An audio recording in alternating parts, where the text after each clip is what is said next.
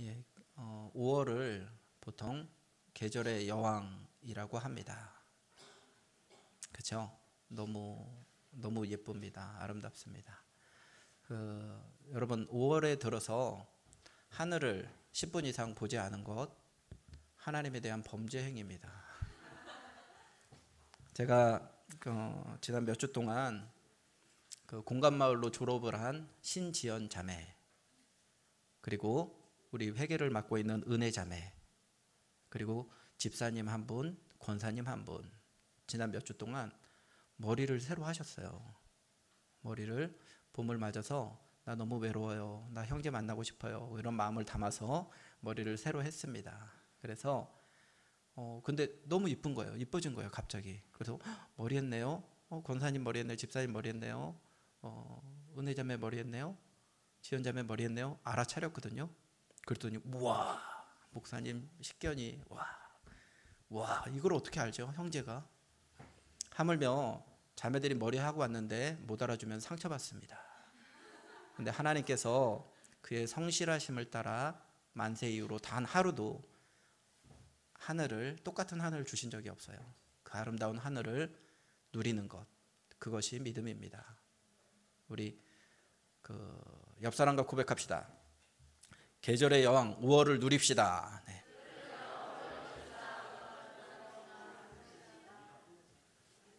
오늘은 좀 이상한 제목을 가지고 하나님 말씀 증거하도록 하겠습니다. 푸른 하늘, 먹구름 하늘. 시적인 언어죠. 네. 뭐 누가 의심하는 거니? 시적인 언어 맞습니다. 푸른 하늘, 먹구름 하늘이라는 제목으로 하나님 말씀 증거하도록 하겠습니다. 우리는 가정에서 기대하는 바가 큽니다. 가정에 들어갈 때 하루 종일 직장에서 학교에서 고생했던 것들이 다 회복되었으면 좋겠다. 그리고 정서적으로 회복되고 육체적으로 회복되었으면 좋겠다라고 잔뜩 기대를 품고 집으로 돌아가게 됩니다. 그런데 가정은 기대가 크기 때문에 받는 상처도 굉장히 큽니다. 관계가 너무 가깝고 나에 대해서 너무 잘 알기 때문에 상처를 주더라도 너무나 깊이 상처를 줄 수도 있고 받을 수도 있는 공간이 바로 가정입니다. 그래서 예상 밖으로 예상 외로 뭐 엮이는 가정이라고 하죠. 순기능으로 역할하지 못하는 엮이는 가정에서 상처를 받은 그 상처는 굉장히 오래 갑니다. 우리 10년 가운데 굉장히 깊이 남아 있습니다. 교회도 마찬가지입니다. 교회도 영적으로 볼 때 영적인 가족입니다. 이 안에 영적인 아비도 있고 어미도 있고 또 하나님의 말씀을 중심으로 말씀을 얻어먹고 교제하고 회복되고 새 힘을 얻고 충전해서 세상을 향하여서 주일 오후 예배까지 다 마치고 세상을 향해서 나에게 맡겨주신 사명을 향해서 삶의 현장을 향해서 출발하고 나가는데 교회 와서 상처받으면 일주일 사는 게 너무나 괴롭습니다. 왜냐하면 영적인 가족, 영적인 가정이 이곳이기 때문입니다.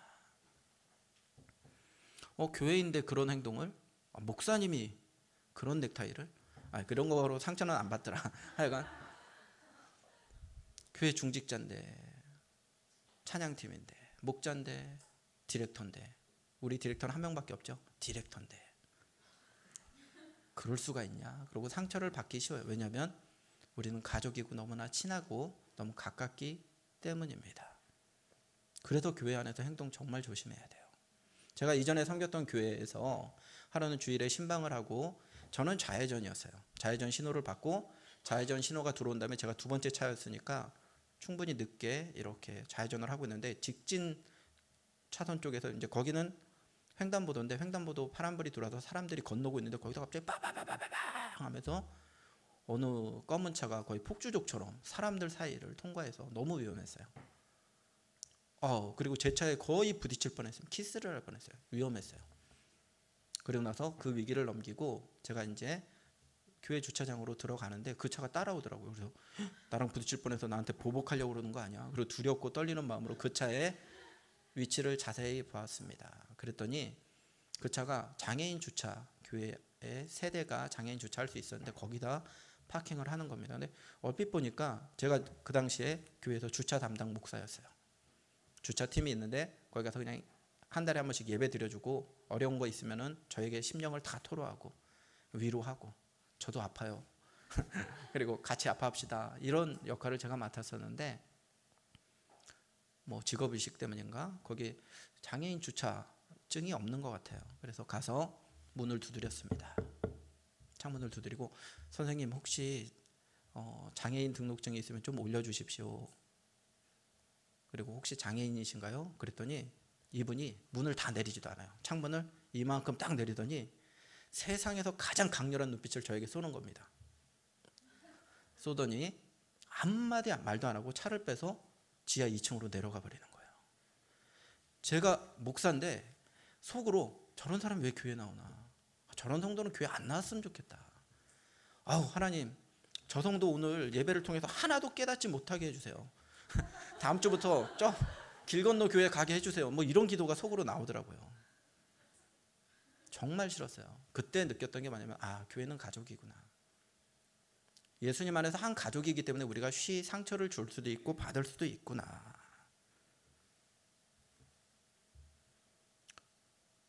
여러분 우리가 어떤 장소에 왔을 때 가족이라는 교회라는 그리고 어떤 사람을 만났을 때 그 사람이 어떤 디렉터라는 타이틀이 있어요. 전도사님이라는 목사라는 그러한 직분을 맡고 있어요. 그럴 때 기대하는 바가 있습니다.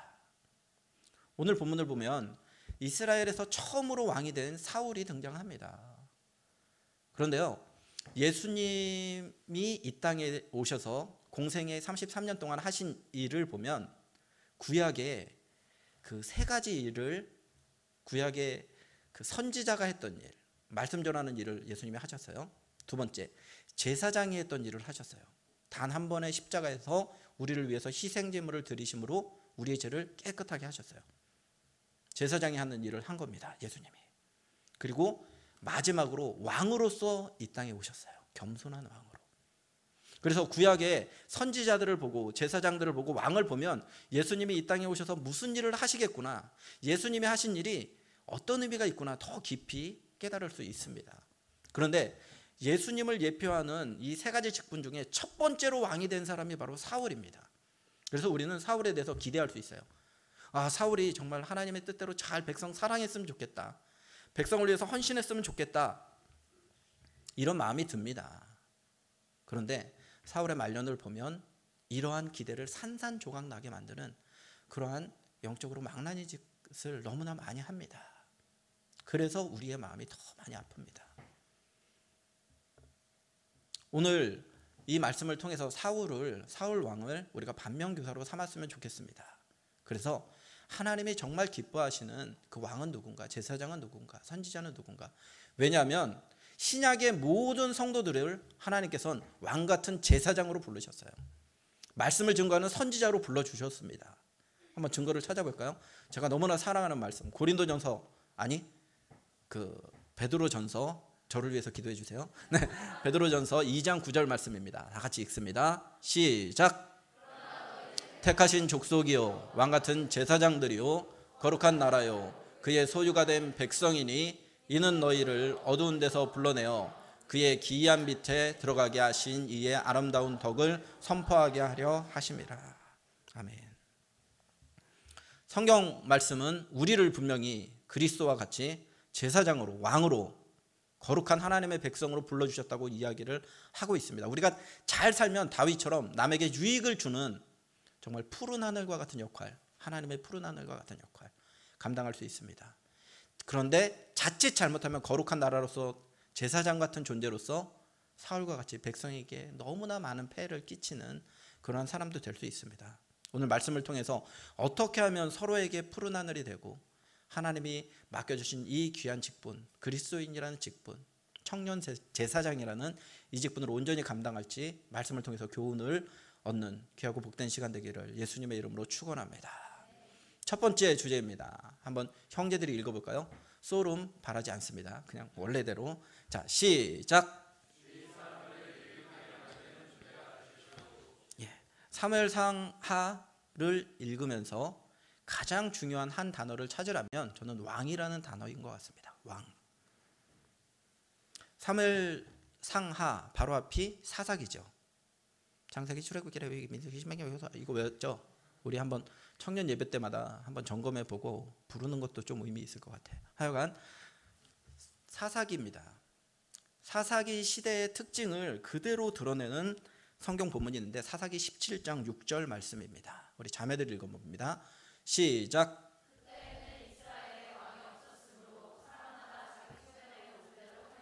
예, 이 시대는 기준이 없었던 시대입니다. 사람마다 자기 소견대로 그 행하던 하나님의 말씀의 기준이 전혀 무너진 그런 상대주의적인 시대입니다. 이기주의적인 시대고 극단적인 개인주의의 시대였습니다. 영적인 암흑 시대입니다.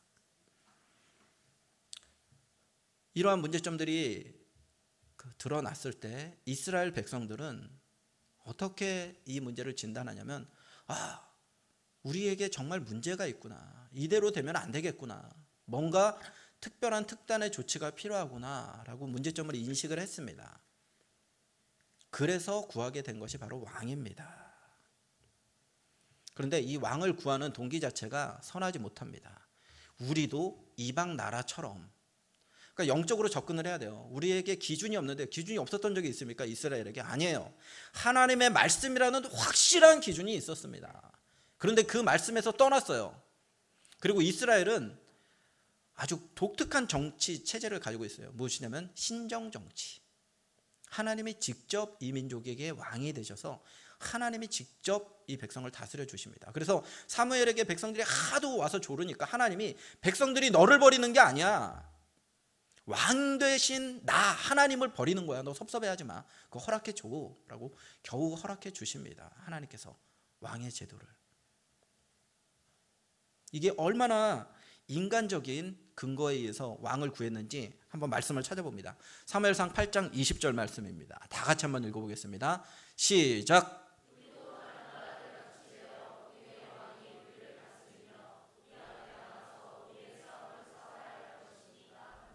빨간 글씨만 읽겠습니다. 시작. 여기서 다른 나라들이 어떤 나라입니까? 이방 나라. 하나님의 말씀에 기준이 없는 나라.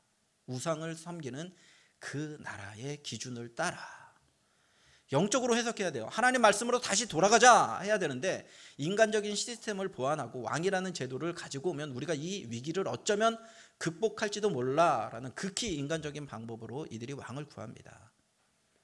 그런데 하나님께서 그렇게 잘못된 강국까지도 허락해 주십니다. 마음은 아프지만 저들이 나를 버리려고 한다. 그래서 왕이라는 제도를 허락해 주십니다. 이렇게 해서 왕이 세워졌다고 하면 왕은 누구를 위해서 존재합니까? 첫 번째, 하나님을 대신해서 하나님의 영광을 위해서 정치를 해야 됩니다. 두 번째, 누구에 의해서 누구의 기도에 의해서 누구의 강구에 의해서 누구의 요구에 의해서 세워졌습니까? 백성들. 그렇다면 누구의 유익을 구해야 됩니까? 백성들의 유익을 왕이 구하는 것이 마땅합니다. 백성들을 돌보고 백성들을 사랑하는 것이 왕의 역할입니다. 우리를 하나님께서 왕 같은 제사장으로 부르셨다면 이거는 교회 안에서 목사이기 때문에 혹은 어떤 직분을 맡고 있기 때문에 우리가 왕 같은 제사장들이 아닙니다. 예수님을 믿는다는 것 자체가 세상에 나가서 왕 같은 제사장입니다. 왜 하나님이 우리를 이 부담스러운 명칭을 주셨을까요? 오늘 말씀을 통해서 어떻게 할 때 정말로 왕이 어떤 행동을 할 때 주위 사람들을 죽일 수도 있고 살릴 수도 있는지 그 비결을 찾아가는 그런 시간 됐으면 좋겠습니다. 사울왕을 보면 여러분 이 사람이 여전 그 명색이 왕입니다. 왕. 그냥 말로만 어떤 명령을 하더라도 권위가 있는 존재가 바로 왕입니다. 그리고 원조 왕이에요. 원조 제1대 왕. 얼마나 권위가 있겠습니까? 그런데 그의 손에 무엇이 들려 있습니까? 단창이 들려 있어요. 단창. 6절 말씀 읽어 보겠습니다. 6절 말씀 다 같이 읽습니다. 시작.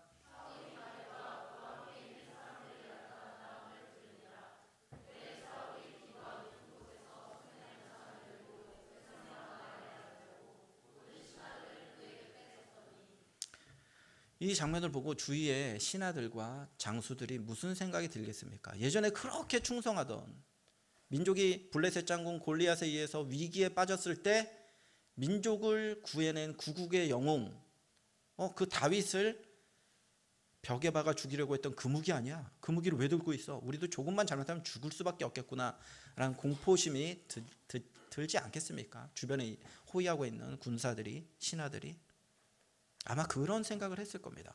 어, 다윗을 죽이려고 하던 그 창끝이 언제 나를 향해 날라올지도 모르겠구나. 그런 두려움이 있는 겁니다.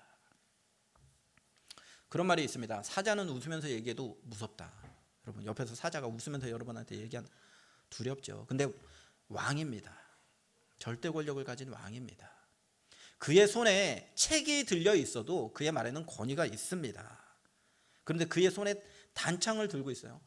그 밑에 얼마나 많은 장군들이 있는 장수들이 있고 병사들이 있는데 왕이 굳이 단창을 들고 공포 정치를 하지 않더라도 백성들을 잘 하나님의 말씀으로 다스릴 수 있습니다. 그런데 그의 손에 격에 맞지 않아요. 너무 천박한 장면입니다. 그 장면이. 이러한 공포 정치를 가지고 백성들에게 명령을 합니다. 그런데 그 명령이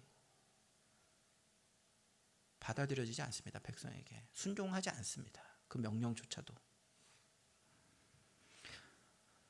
이 이러한 사울의 모습을 보고 많은 신학자들이 사무엘상 18장에서 맨 마지막 장인 31장까지를 사울의 몰락이라는 제목을 붙입니다. 타이틀을 사울의 몰락. 사울은 지금 몰락하고 있습니다. 하나님이 맡겨주신 왕이라는 특권, 백성을 사랑해야 되는 그 자리에서 백성을 죽여야 되는 대상, 눌러야 되는 대상, 거래해야 되는 대상으로 보게 될 때 그는 자기 스스로가 죽어가고 있는 겁니다. 사울이 점차 충신들로부터 하나님의 마음으로부터 백성들의 마음으로부터 점점 점점 멀어집니다. 한번 그 증거를 찾아봅니다. 오늘 말씀에서 8절 말씀 한번 보십시오. 백성과 사울이 어떻게 되었는지. 이번에 자매들이 읽겠습니다. 시작.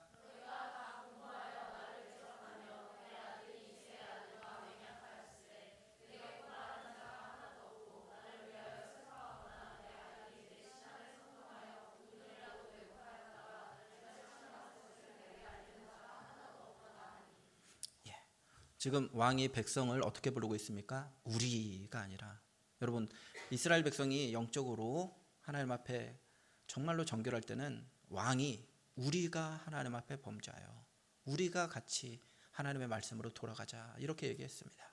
근데 왕은 더 이상 백성 하나가 아닙니다. 왕과 백성은 너희 나 벌써 호칭부터 거리가 느껴집니다. 왕과 그리고 가장 자신의 충신이었던 다윗을 마치 구테타 세력의 수장이나 되는 것처럼 이야기를 합니다. 지금 자기 주의를 지키고 있는 신하들도 자기 아들과 함께 모반을 모색하고 있다라고 인식을 합니다. 지금 사울은 사람들에게 둘러싸여 있지만 군중 속의 고독입니다.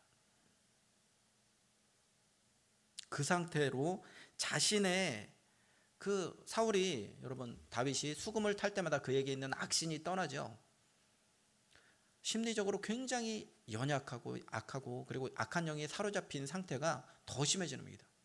사람들 속에서 고립됨으로 말미암아 사람들과의 관계가 떨어짐으로 말미암아 더 심해집니다. 그의 심리적인 상태가 그러니까 더 외로워집니다. 이렇게 외로워진 상태, 백성들과 단절된 상태에서 그의 명령도 시행되지 않습니다. 17절 오늘 읽지는 않았지만 17절을 보면요. 사울 왕이 그 여호와의 제사장들을 죽여라라고 이야기합니다. 근데 백성들이 머뭇머뭇하고 옆에 있는 호위대들이 머뭇머뭇하고 아무도 그 명령을 순종하지 않습니다.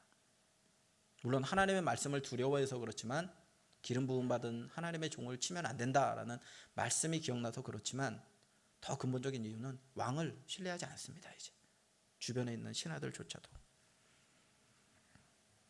무기를 들고 백성들을 위협하고 공포 정치를 하면서 백성들이 나의 말에 무조건 순종하기를 원하는데 전혀 움직이지 않습니다. 그러자 사울이 또 다른 조치를 합니다. 백성들과 거래를 합니다. 7절 말씀 한번 읽어볼까요? 이번에 형제들이 있습니다. 시작.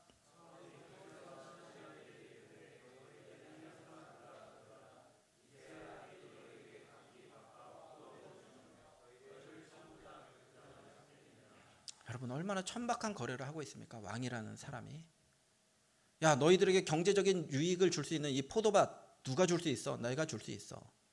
너희에게 정말로 권력을 얻을 수 있는 이 백부장의 자리, 천부장의 자리 누가 줄 수 있어? 나 왕이 줄 수 있어. 그러니까 내가 이런 거 줄 테니까 경제적인 이익을 주고 명예를 주고 너에게 권력을 줄 테니까 하나님의 기름 부음 받은 이 종들 좀 죽여. 지금 백성들이랑 거래하고 있습니다. 이렇게 말도 안 되는 하나님의 말씀과 반대되는 명령을 하게 되니까 사울 주위에 남는 사람은 어떤 부류의 사람들만 남습니까? 간신들만 남아요. 도액과 같이 도액은 사울의 목자장입니다.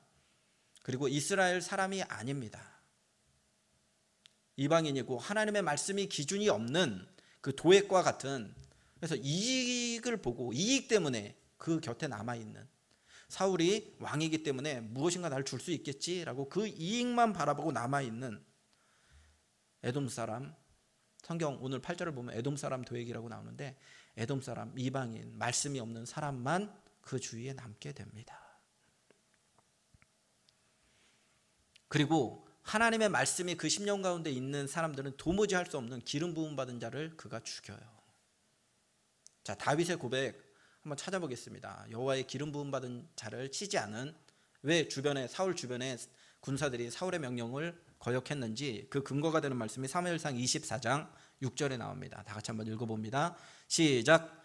자기 사람들에게 이르되 내가 손을 들어 여호와의 기름 부음을 받은 내 주를 치는 것은 여호와께서 금하시는 것이니 그는 여호와의 기름 부음을 받은 자가 됨이니라 하고 다윗이 그의 신하들에게 그를 죽이라 그들을 죽이라 라고 명령하는데 적어도 이스라엘 백성들은 하나님의 말씀에 율법에 금지한 신앙적인 그런 기본 상식이 있습니다. 오, 하나님의 기름 부음 받은 자는 하나님이 직접 다스리시기도 하고 복도 주시기도 하고 때론 치시기도 해. 우리가 나서서 죽일 수 있는 존재가 아니야. 이건 다윗의 고백일 뿐 아니라 조금이라도 여호와의 율법을 알고 있는 사람들의 상식 신앙 상식입니다. 그런데 이 도액이라는 사람은 말씀에 근거가 없어요. 그러니까 죽입니다. 한 날에 에봇을 입은 제사장 85명을 죽입니다. 그가. 그리고 자신의 이익을 확실하게 하기 위해서 오버해요. 오버해서 어린아이를 죽입니다. 어린이들도 죽여요. 거기에 그치지 않고 어미의 젖을 빨고 있는 젖먹이들까지도 죽입니다. 가축도 죽입니다. 말씀의 기준이 없을 때 그 사람은 오버합니다. 소리를 지르고 그리고 이익을 확실하게 하기 위해서 더 많은 희생자들을 낳고 있습니다. 여러분 우리를 하나님께서 아까 읽었던 베드로전서 말씀과 같이 거룩한 왕 같은 존재로 부르셨는데 우리가 하나님의 말씀의 기준을 제대로 붙잡고 있지 않을 때 우리는 다른 사람에게 먹구름 같은 존재가 될 수밖에 없습니다.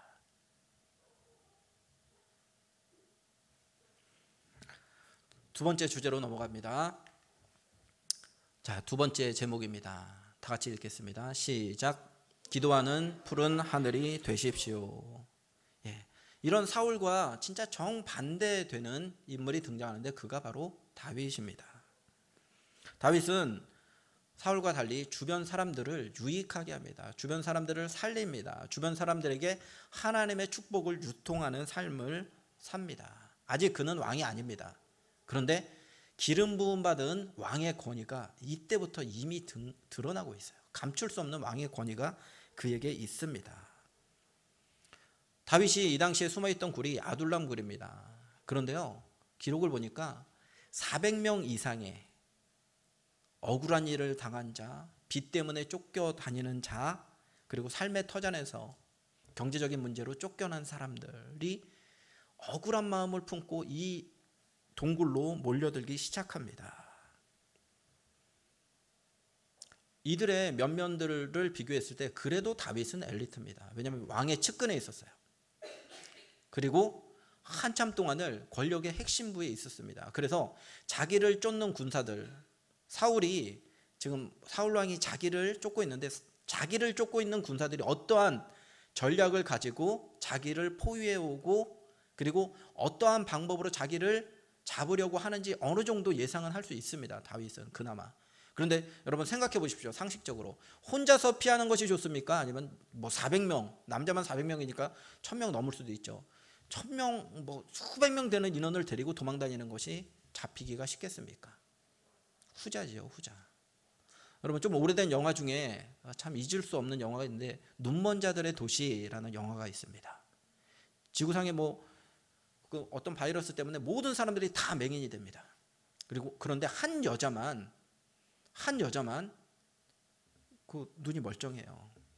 그래서 이 여자가 위험을 무릅쓰고 자기의 남편과 그리고 함께 피신해 있는 사람들을 위해서 그 식량을 구하기 위해서 도시로 내려갑니다. 내려가려고 하는 내려가려고 하는데 남편이 여보 나도 같이 데려가. 여보 우리도 도와줄게.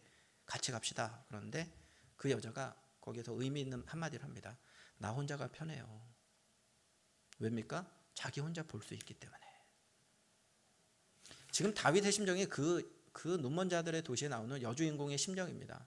그래도 나 혼자면 잘 피할 수 있어. 나는 군대의 전략과 전술을 어느 정도 이해하기 때문에 그래도 나 혼자서는 피하기 쉬운데 아둘랑불의 사람들이 이렇게 덩치가 커지고 인원이 많이 늘어나면 결국 위험해지는 것은 자기 자신입니다. 그런데 그러한 모든 위험을 감수하고 환란당한 자, 빚진 자, 마음에 억울함이 있는 자들을 그가 생명을 걸고 용납해 줍니다. 품어 줍니다. 그들에게 다시 한번 second chance를 다윗을 통해서 하나님께서 제공해 주십니다. 다윗에게는 엄청난 엄청난 결단이고 엄, 엄청난 위험을 감수하는 겁니다. 그런데 하나님께서 공짜가 없어요. 이렇게 자신의 생명을 걸고 그 죽을 수밖에 없는 사람들 400명을 품었는데 그 400명의 피난자 중에 누가 있었냐면 아비아달이라는 제사장이 있습니다. 이 아비아달은 도액이 85명의 제사장들을 죽일 때 겨우 피신해 온 제사장인데 그가 이후에 다윗이 다윗 왕국을 이루었을 때 대제사장이 됩니다. 아비아달이 그 피난민들 사이에서 섞여서 들어왔다라는 것은 영적으로 무슨 의미가 있냐면 하나님의 말씀의 정통성이 다윗 왕조와 이제 함께하기 시작했다. 내가 다른 사람에게 푸른 하늘이 돼서 다른 사람을 도우려고 손해를 감수하고 위험을 감수하고 생명을 걸다 보니까 하나님이 그 안에 자기가 예상도 못할 큰 복을 숨겨주셨어요. 다윗이 400명을 받을 때 면접하고 받은 게 아니야. 너 무슨 기술이 있어? 너 싸움 잘해? 너 돈 많어? 너 가축 몇 마리야? 이런 거 가지고 받아들인 게 아니에요. 그냥 피난민 모습 그대로 받아들일 때 하나님이 그 안에 엄청난 영적인 축복을 숨겨 두시고 그가 정말로 다윗 왕조의 영적인 귀중한 기둥을 세우는 말씀의 기준을 세우는 역할을 감당했다라는 겁니다. 그러니까 우리가 다른 사람에게 좋은 사람이 돼야지, 푸른 하늘이 돼야지, 먹구름이 되지 말아야지라고 해서 현상적으로 볼 때 다른 사람을 돕는 것 같이 보입니다. 그러나 결국에 그랬던 것이 하나님 앞에 공짜가 없습니다. 하나님이 그 안에 내가 섬기는 그 안에 도무지 나에게 갚을 수 없을 것 같은 그 사람들 중에 내 미래를 책임질 사람이 있습니다. 전혀 찌질이 같은 형제인데 도왔는데 나중에 내 남편이 돼서 막 헐헐 날아다니는 형제 있을 수 있어요. 제 집사람이 아마 그랬을 거야. 제가 이렇게 훌륭한 목사가 됐을 줄 어떻게 알아서. 아멘 크게 해도 돼요. 네. 네. 우리가 하나님을 위해서 지금 당장 작은 것 손해보는 것 같죠. 그 안에 하나님의 엄청난 보석이 숨겨져 있을 수 있다라는 것입니다. 제가 오늘 사울과 다윗을 보면서 그들의 삶을 비교해 보면서 생각난 시가 하나 있습니다. 그 그래서 한번 청년들이랑 같이 나눠보고자 합니다. 그래서 제가 사무실에서 사실은 목요일 날 우리 원조 노사님께 혹시 우리 청년들 중에 성우 있습니까? 뭐 우리 최 목사님처럼 하나님께서 이렇게 얘기할 수 있는 사람이 있습니까? 있으면 좀 대신 저보다 어, 읽었으면 좋겠는데 없다고 그러더라고. 막 웃더라고요. 최 목사님까지 웃더라고. 그래서 제 목소리가 하이톤이고 시인으로서 맞지 않지만 여러분 그래도 그냥 성우다라고 생각하고 은혜 받는 시간 됐으면 좋겠습니다. 이렇게 서론이 긴 거는 저도 두렵다라는 거예요. 네. 박노해 시인의 하늘이라는 시입니다. 우리 세 식구의 밥줄을 쥐고 있는 사장님은 나의 하늘이다.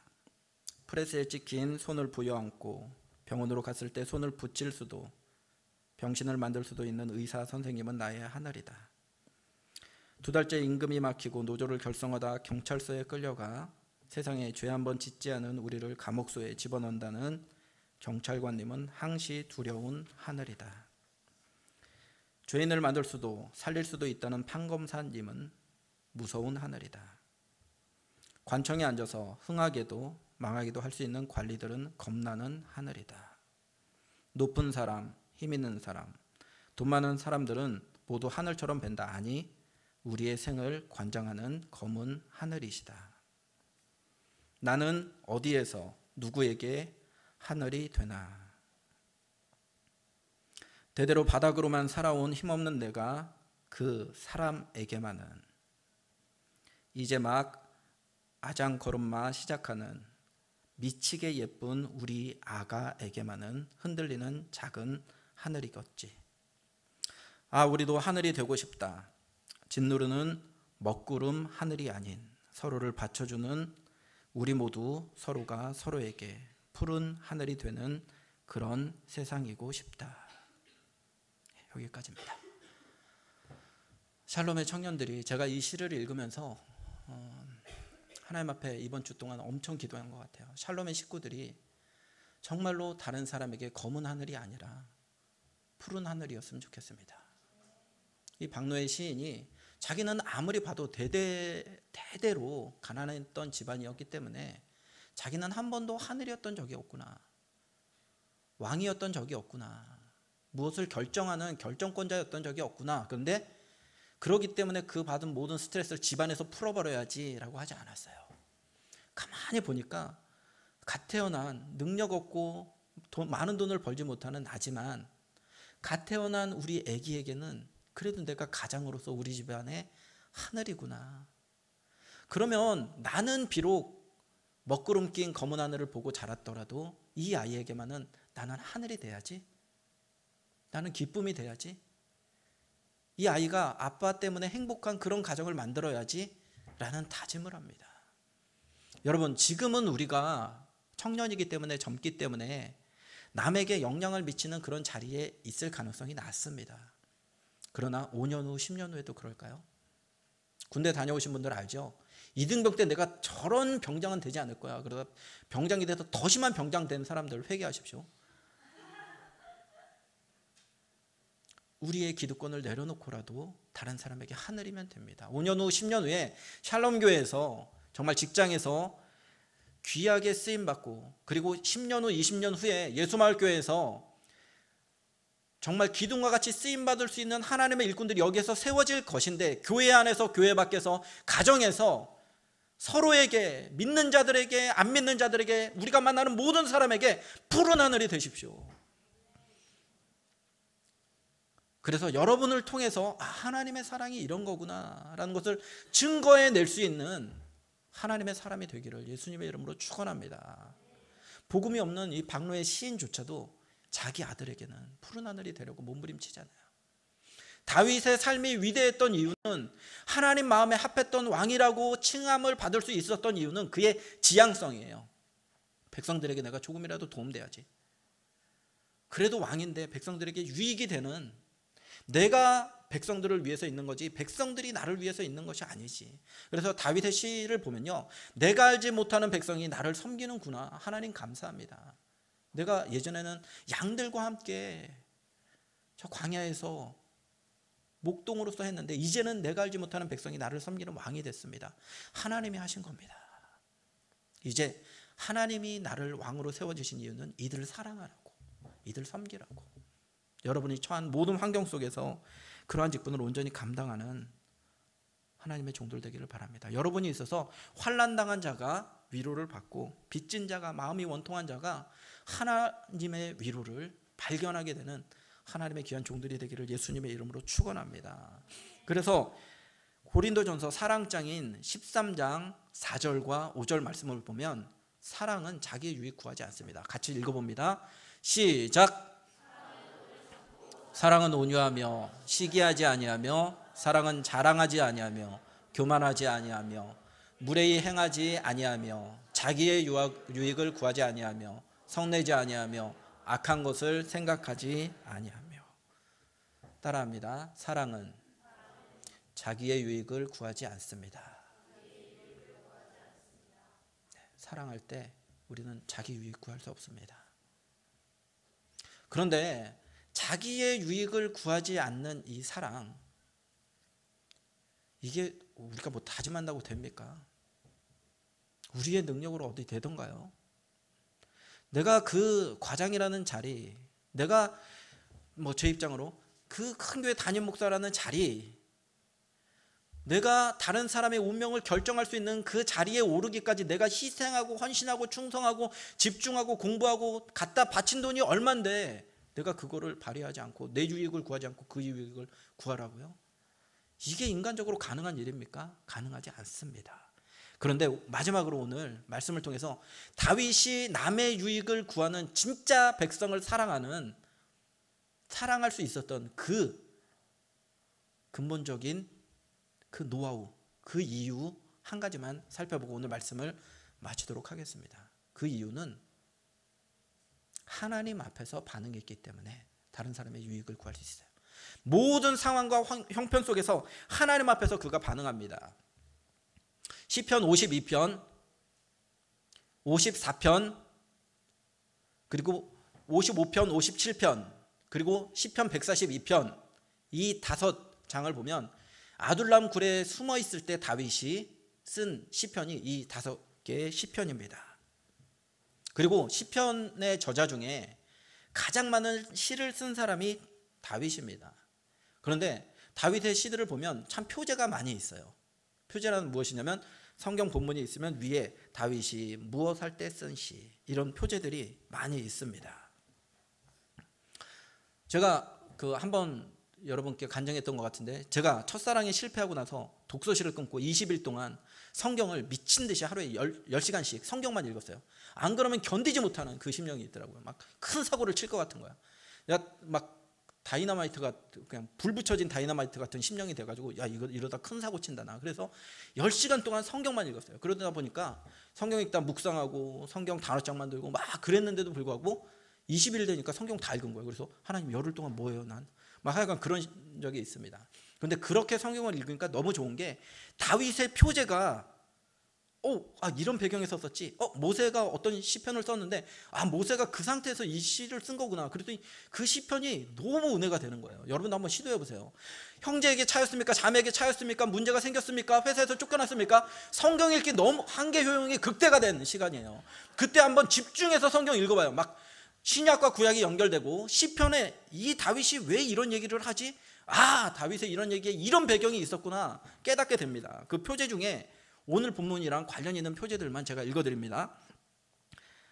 모든 원수의 손과 사울의 손에서 건져 주신 날에 다윗이 이 노래말로 여호와께 아뢰어 이르되 바세바와 동치마노 이건 아니지만 하여간 바세바와 동치마노 나단이 그에게 왔을 때 에돔인 도액이 사울에게 이르러 다윗이 아히멜렉의 집에 왔다고 그에게 말하던 때 십사람이 사울에게 이르러 말하기를 다윗이 우리가 있는 곳에 숨어 있지 아니하였나이까 하던 때 사울을 피해 굴에 있었던 때 고난 당한 자가 마음이 상하여 여호와 앞에 토로하는 기도 성전에 올라갈 때 다윗이 굴에 있을 때 지은 기도 다윗의 찬송시 등등등등 너무 많이 나옵니다. 여러분 다윗은요 예배 드리러 성전으로 올라가면서 하나님 앞에 찬송시를 적었습니다. 위기에서 건짐을 받고 생명이 죽을 수밖에 없는데 뭐 블레셋 앞에서 미친 척 하다가 생명의 구원함을 받고 시를 썼습니다. 때로는 왕으로서 바세바를 범하는 부끄러운 일을 범했습니다. 어떻게든지 기록에서 삭제하고 싶을 텐데 그 무너진 심령조차도 하나님 앞에 시로 남겨둡니다.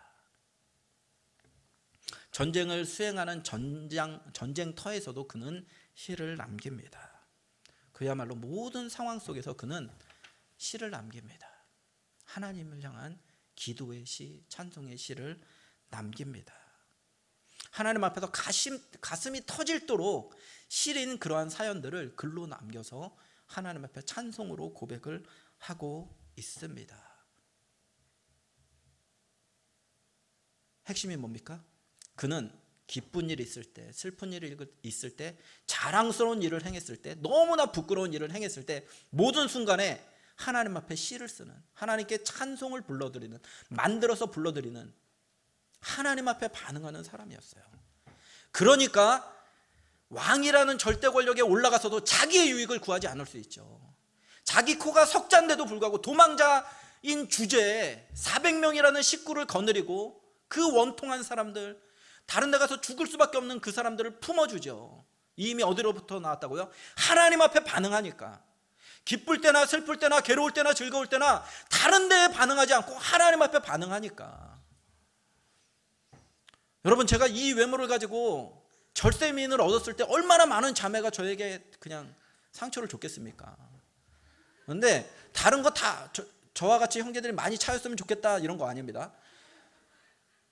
제가 자매를 딱 두 번 차고 15명에게 차였습니다. 얼마나 상처가 많은 사람이야. 그때마다 얼마나 기도했는지 몰라요. 하나님 이 외모로 하나님 전 게다가 신학을 해야 될 사람인데 가난한 목사가 될 텐데 과연 결혼할 수 있겠습니까? 그런 기도로 가요 하나님 앞에 상황이 어렵죠. 버겁습니다 상황이. 아, 이성에 대한 노스탈자는 너무나 강력해요. 하나님 뭐 15살부터 이성에 대해서 눈을 떠가지고 너무 그림 뭐 하, 결혼은 빨리 하고 싶고 근데 왜 이렇게 늦추십니까? 뭐 다이너마이트 상태죠. 불 붙인 다이너마이트. 하나님 근데 걔가 나를 썸 타다가 그냥 가? 나의 절친에게로 가? 견딜 수 없죠. 그런데 적어도 그런 일이 있을 때마다 저는 하나님 앞에 반응했어요. 하나님 앞에. 삼각산에 올라갔고요. 제 채플실에 신학교 채플실에 가장 자리가 이 자리거든요. 동진이 앉은 자리. 그 영광스러운 자리다. 그러니까 이 자리에서 얼마나 많은 눈물을 흘렸는지 모릅니다. 다윗이 그런 고백이에요. 침상을 자기 눈물로 침상을 띄운대요. 하도 눈물을 많이 흘려서 자기의 침상이 거기 둥둥 떠다닌대. 저도 그 기도 안 해봤으면 말을 하지 마. 아, 했습니다. 그렇게 기도. 그러다 보니까요. 근자감이 생겨요. 근자감. 근거 없는 자신감이 아니라 근거 있는 자신감. 어, 하나님이 나를 위해서 아들을 주셨네. 십자가에서. 아들을 주신 하나님이 아유 아내 안 주겠냐. 지금 너 차고 간 애보다 더 나은 애 주시지 않겠느냐. 오, 하나님 감당하기 힘들 텐데 나 차고 간 애가 그래도 좀 상위 몇 퍼센트 든 어려 하나님 너 내가 하나님의 권능을 의심하는 건 아닙니다. 그러나 이거 좀 감당하기 쉽지 않아. 그런데 감당해 주시던데요 하나님께서. 다윗의 찬송 시들을 보면 구조가 있습니다. 상황이 어렵습니다. 버겁습니다. 근데 이 버거운 상황을 들고 자기가 아, 끙끙 앓고 그러지 않고 그걸 가지고 그대로 가지고 성전에 가서 히스기야 기도처럼 하나님 내가 이런 사정 내가 이거 감당 못해요 나도 도망자 신인데 어떻게 400명을 책임져요 하나님 나 못해요 라고 기도를 합니다 그러면 그리고 그분께 아뢰요 그분께 묻습니다 그래서 다윗의 시를 보면 탄식이라는 단어가 많이 나오고 고민이라는 단어가 많이 나오고 부르짖음이 많이 나, 나옵니다 근데 거기에 머물지 않고 그게 점점 변해서 찬송으로 변해요 탄식이 변해서 찬송이 되고 부르짖음이 변해서 기쁨의 노래가 되고 도무지 감당할 수 없어요라는 그런 회의가 하나님을 향한 확신으로 변. 아, 하나님 강력하시지. 나는 감당할 수 없지만 하나님 먹이실 수 있지, 채우실 수 있지, 살리실 수 있지. 그리고 나서 나는 할 수 없지만 하나님은 하실 수 있군요. 하고 나서 백성들의 유익을 구할 수 있는 여유가 그에게 생기는 겁니다. 여러분 우리에게 가장 기쁜 일이 있을 때 엄마한테 전화하기 전에 먼저 성전에 와서 하나님 앞에 찬양으로 기도로 하나님 저 실력은 부족한데 아, 붙었어요. 하나님이 하셨습니다. 먼저 기쁨을 가지고 하나님께 고백했으면 좋겠습니다. 다윗과 같이. 그리고 지가 먼저 날 좋아해 놓고 지가 먼저 나를 차? 이름도 아니죠. 소영이야, 소영이. 그러면 안 돼. 아, 유부남이 돼서 15년이 지났는데도 잊혀지지가 않는 그 나쁜 자매가 있습니까? 근데 그랬을 때 아픔이 있을 때 그냥 선배 찾아가고 그냥 나보다 더 많이 차인 그 사람 찾아가고 그래서 답이 나오는 게 아니에요. 결국 하나님 앞에서 반응하면 됩니다. 나보다 더 못난 사람이 나보다 훨씬 더 승승장구해. 아무리 봐도 나보다 못난데 승승장구해요. 억울하죠. 화나죠. 그때 적어도 하나님 앞에 가서 반응해요. 하나님, 내가 하나님을 위해서 안 해도 되는 일이 있어요. 아, 뇌, 뇌 직분해서 그거 안 해도 돼. 근데 하나님을 위해서 그냥 자원하는 심령으로 아무도 안 해서 내가 잘해서가 아니라 아무도 안 하기 때문에 내가 억지로 그 자리에 있는데 그냥 욕만 먹어. 여러분 욕 먹을 때 기뻐하십시오. 복음 때문에 하나님 나라 때문에 하나님의 일 때문에 욕 먹을 수 있는 특권 아무나 주시는 줄 아십니까? 그 어디서 발견하는지 아세요? 그 특권이 특권이라는 걸 기도할 때 하나님 앞에 때 모든 상황 속에서 하나님 앞에 반응하면 우리 심령 가운데 여유가 생기는데 나보다 더 어려운 사람을 품을 수 있는 여유 나와 같은 환란을 당하는 사람을 품을 수 있는 여유 다른 사람의 유익을 구할 수 있는 여유는 내 스스로 나오는 거 아니에요. 신적인 영역입니다. 하나님이 주실 때만, 하나님 앞에 반응할 때만 받을 수 있는 그 여유. 그 여유로 무장한 샬롬의 청년들 되시기를 예수님의 이름으로 축원합니다. 말씀의 결론 맺겠습니다. 여러분은 지금 어디에 서 계십니까? 앞으로 5년 후에 10년 후에 어디에 서 계실 겁니까? 우리나라는 연공서열이 아직도 남아있기 때문에 시간이 지날수록 결정권자의 자리에 올라갈 수 있는 가능성들이 많아집니다. 저는 이전에 섬기던 교회에서 굉장히 찌질이었는데 그 친구들이 나중에 이사가 되고 뭐 회사 사장이 되고 회장이 돼서 요즘도 뭐 어제도 이제 강촌에 가서 옛날에 같이 축구하던 친구인데 모 대학의 교수가 돼서 어, 정한이 형 그러더라고요. 너 목사인데. 그래서 옆에 후배 교수들 있고 그러는데 그 교수 옆에 이 녀석이 어디서 목사한테 막 그랬어요. 서로 막 형 이 녀석 막 그러고 아, 중년의 목사를 위해서 기도해 주십시오. 그들을 보면서 여러분의 미래를 봅니다. 저는 이제 여러분이 결정권자에 가서 여러분이 가진 모든 특권들 내려놓고 다른 사람을 살릴 수 있는데 그거는 우리의 다짐으로 되는 거 아닙니다. 하나님 앞에 반응하고 하나님 앞에 기도하고 내 기득권을 내려놓을 수 있을 때 여러분은 먹구름 낀 그런 하늘이 아니라 다른 이들에게 푸른 하늘이 될 수 있습니다. 여러분을 통해서 그 하늘 위에 보좌에 앉으신 예수님이 증거될 겁니다. 그렇게 영광스럽게 평생을 쓰임 받는 샬롬의 모든 식구들 되기를 예수님의 이름으로 축원합니다. 다 같이 일어나서 나의 마음 받으소서 찬양하겠습니다.